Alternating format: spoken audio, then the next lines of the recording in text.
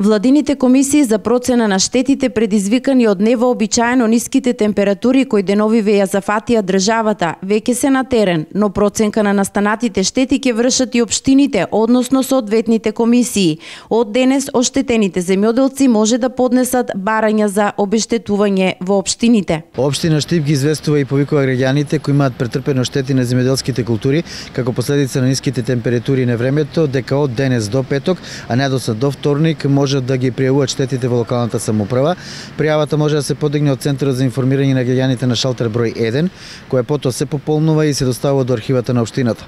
Освен пријавата, потребно е да се достави и копија од лична карта, трансакцијска сметка, документ за собственост и изјава за неосигурен имот.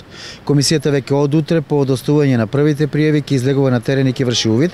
Рокот за пријавување е од денес до петок, но општината ќе возможи доставување на пријавите до идниот вторник за оние кои што имаат потреба од повеќе време. Собствениците на лозија и овошни насади кои веќе од денес поднесуваат барање за обештетување, велат дека годинава овошје нема да има и дека гледката на лозијата и овоштарниците е страшна. Лозарството што е може да ти кажам на нула е више. Овоштарството е исто. Тоа е само совидување, заплакање. А, своето си го зема и тоа нема више мислам си ников придонес да има оваа година. Агрономите велат дека спас од вакви ниски температури нема, ниту една превентивна мерка не би дала резултати при вакви студови во период на раст и развој на лозниците и овошките. Се работи за минус температури 2 до 4 минус 2 до минус 4 степени, тука нема помош. Тоа е мраз и штети се неминовни.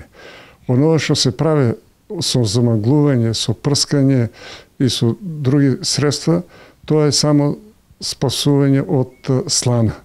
Иначе од мразовите нема. Тоа тие се сокови, сокот во растењето, во цветовето комплетно, тие се склони на ниски температури и мрзнат. Од утре на терен излегува Комисијата за процена на штети на Обштина Штип, која е формирана 2009 година и при секоја временска непогода врши увид во настанатите штети во домакинствата и имотите, пошто изготвува елаборат кој го разгледува Советот на Обштината, а по неговото усвојување се доставува до Владата на Република Македонија.